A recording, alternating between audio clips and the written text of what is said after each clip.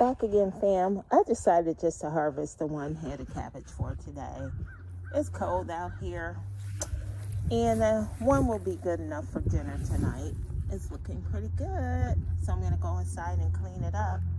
All right, thanks, bye. Okay, this Tiegsy again. My cabbage is chopped up. My olive oil and sesame oil is heating. It's starting to smoke, so it's time to put the cabbage in.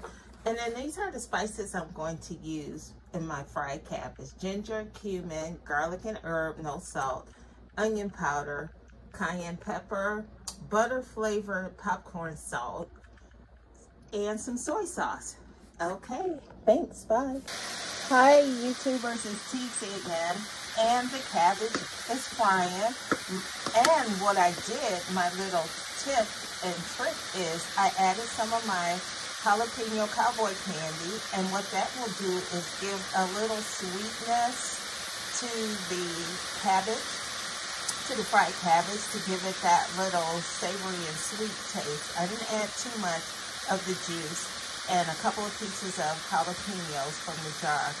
Okay, it's almost done. Thanks, bye.